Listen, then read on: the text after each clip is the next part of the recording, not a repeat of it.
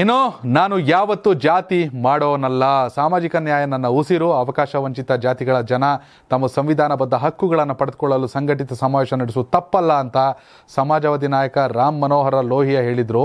ಅದರಂತೆ ಈ ಸಮಾವೇಶ ನಡೀತಿದೆ ಅಂತ ಮುಖ್ಯಮಂತ್ರಿ ಟೀಕಾಕಾರಿಗೆ ಉತ್ತರ ನೀಡಿದರು ಬೆಳಗಾವಿಯಲ್ಲಿ ನಡೆದಂಥ ಕುರುಬ ಸಮಾವೇಶದಲ್ಲಿ. ನಾನು ಯಾವ ಜಾತಿ ಗೀತಿ ಅಂತ ನೋಡಲ್ಲ ರೀ ಅಂತ. ನಾನು ಈ ಜಾತಿ ವ್ಯವಸ್ಥೆ ಯಾವತ್ತಿದ್ರೂ ವಿರುದ್ಧ.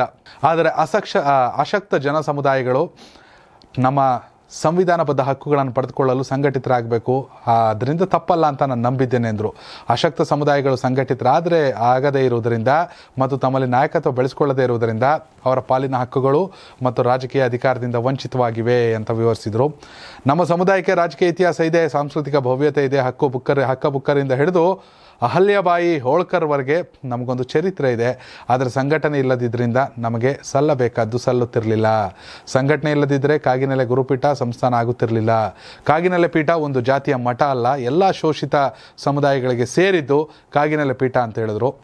ಇನ್ನು ಪ್ರತಿ ಸಮುದಾಯಗಳು ಆರ್ಥಿಕವಾಗಿ, ಸಾಮಾಜಿಕವಾಗಿ, ರಾಜಕೀಯವಾಗಿ ಬೆಳೆದರೆ ಮಾತ್ರ ಸಮ ಸಮಾಜದ ನಿರ್ಮಾಣ ಸಾಧ್ಯ. ಎಲ್ಲರಿಗೂ ಅವರವರ ಪಾಲಿನ ಅಧಿಕಾರ, ಅವಕಾಶ ಸಿಗಬೇಕು. ಈ ಸಾಮಾನ್ಯ ಜ್ಞಾನ ನಮ್ಮನ್ನು ಟೀಕಿಸುವವರಿಗೆ ಇಲ್ಲವಾಗಿದೆ ಅಂತ ಹೇಳಿದರು. ನಮ್ಮದು ಹೇಳಿ ಕೇಳಿ ಜಾತಿ ಮತ್ತು ತಾರತಮ್ಯದಿಂದ ಕೂಡಿರೋ ಸಮಾಜ, ಹೀಗಾಗಿ ಅವಕಾಶಗಳ ಹಂಚಿಕೆಯಲ್ಲೂ ತಾರತಮ್ಯ ಇರುತ್ತದೆ. ಇವೆಲ್ಲ, ಇವನ್ನೆಲ್ಲ ಸರಿದೂಗಿಸ್ಬೇಕಾದ್ರೆ ಸಂಘಟನೆ ಸಮಾವಕ್ಕೆ ಸಮಾವೇಶಗಳು ಅಗತ್ಯ ಅಂತ ಸಿದ್ದರಾಮಯ್ಯ ಅವರು ಗುಡುಗವ್ರೆ ಬೆಳಗಾವಿಯಲ್ಲಿ ನಡೆದ ಕುರುಬ ಸಮಾವೇಶದಲ್ಲಿ.